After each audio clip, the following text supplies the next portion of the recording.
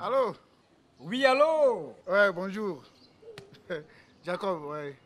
Ah, Au fait, dis-moi, Ouais. Le comprimé que tu m'as conseillé pour ne pas sentir le poids du jeune là. Mais toi, tu ne changeras pas, quoi. Donc, tu ne veux pas sentir le poids du jeune. Joe, j'ai oublié comment on les utilise. Hein. Ok, je t'explique pour une dernière fois. hein. Ok, Tu prends un bleu. d'accord.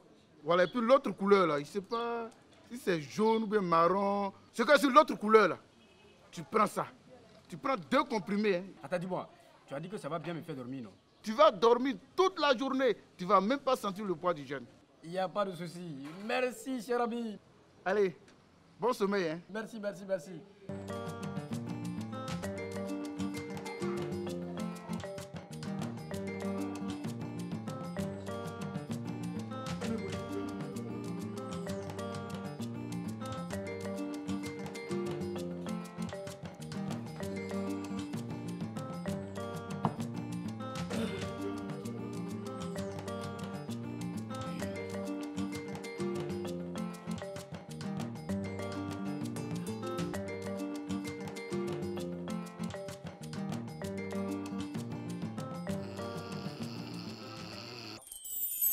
Un homme qui a décidé de jeûner, mais qui n'a pas la force.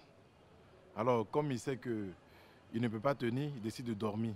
Il a pris un médicament qui va l'aider à dormir pour ne pas sentir le poids de la faim, tout cela au cours de la journée. Mais c'est des gestes hypocrites et ce n'est pas chrétien et ce n'est pas censé. Quand on jeûne, on n'est pas focalisé sur le repas. Il y en a, autour de la journée, ils vont passer le temps à regarder leur montre. Il fait que le, est-ce qu'il est midi, à bailler, à dormir, à se réveiller? Non. Mais quand on jeûne, on accomplit ces tâches quotidiennes. On les fait dans la joie, dans le sourire. Comme Jésus l'a dit, quand tu jeûnes, lave-toi la tête, parfume-toi et que ton jeûne ne soit pas connu des autres.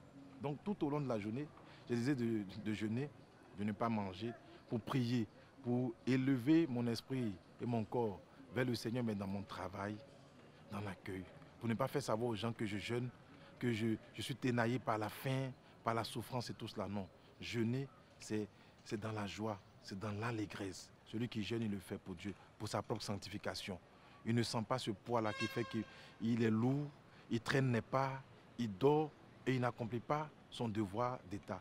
Demandons au Seigneur son Esprit Saint, afin que le jeûne soit un jeûne qui plaise à Dieu et non un jeûne pour se faire voir des hommes. Que Dieu vous bénisse.